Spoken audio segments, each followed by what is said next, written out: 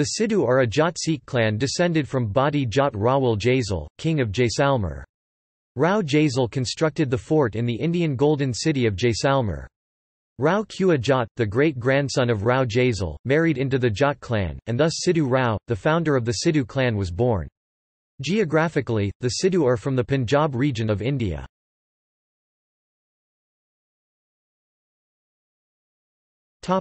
See also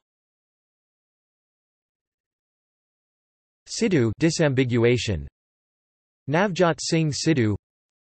Balraj Singh Sidhu writer http colon slash slash www.balraisidhu.com Captain Amrinder Singh Sidhu